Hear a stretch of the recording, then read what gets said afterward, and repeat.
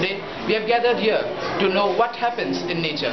We do not always need a laboratory to understand science because nature itself is a laboratory which undergoes experiments in everyday life.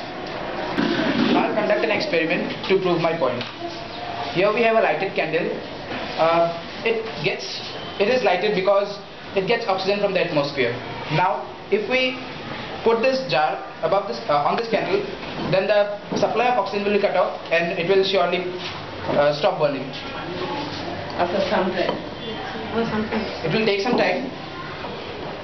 Yes, it's it stopped burning. Next. Similarly, in case of the similarly in case of the fire extinguisher, which uh, consists of uh, carbon dioxide, as carbon dioxide is heavier than uh, air, so it creates a blanket over the uh, object which catches fire.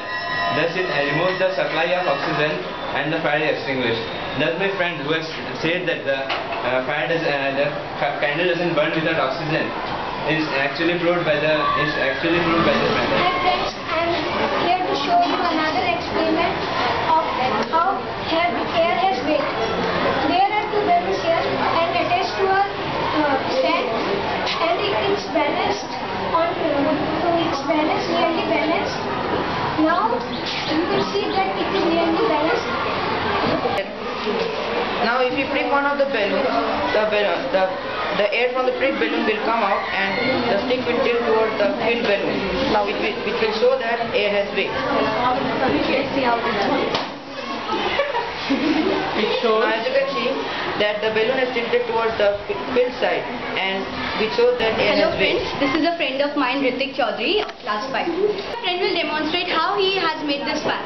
First we have to we have to take out the motor of one car engine and then we have to uh, we have to attach two wires here and then we have to connect it with the battery. Now uh, the fan will rotate. Now we are next conducting a transpiration experiment. For this we have taken a green plant and we have covered one of the leaves of the plant with a transpir uh, transparent paper and you have to keep it in the sun for a few hours. After the uh, after a long after a few hours we'll see that some water droplets have come up in the inner side of the cellophane paper. This is due to the fact that water the leaves uh, give out uh, water vapor which condense and form water droplets as you can see in the inner side of the uh, cellophane paper experiments which I have conducted without using any lab equipments.